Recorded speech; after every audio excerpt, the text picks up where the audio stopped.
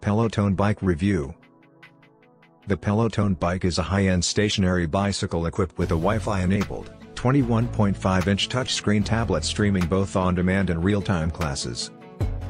During the ride, riders can use the leaderboard to compete with others and expend total wattage of energy. The popular on-demand classes have had tens of thousands of rides completed and special ones had more than 20,000 participants at once. Amy Roberts is the author of this guide. She has conducted reviews for Wirecutter on a number of fitness items, including guides regarding fitness trackers, folding bikes, yoga mats, and the Peloton Loud.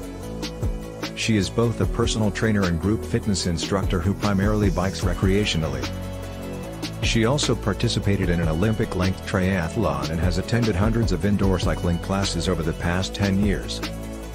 Ingrid Skjong is the supervising editor who updated this guide. She has extensive knowledge of exercise equipment and has written reviews of treadmills and mirrors.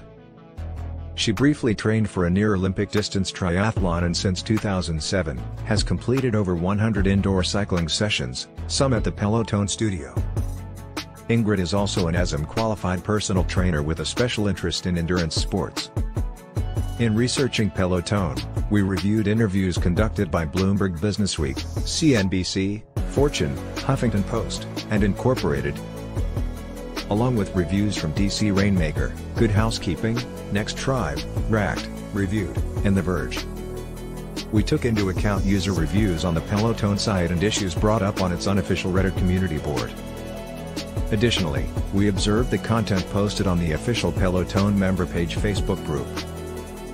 For our initial testing of the Peloton bike, we recruited four New Yorkers with different levels of experience with boutique indoor cycling. We have had positive experiences when testing the Peloton bike and its Bike Plus upgrade.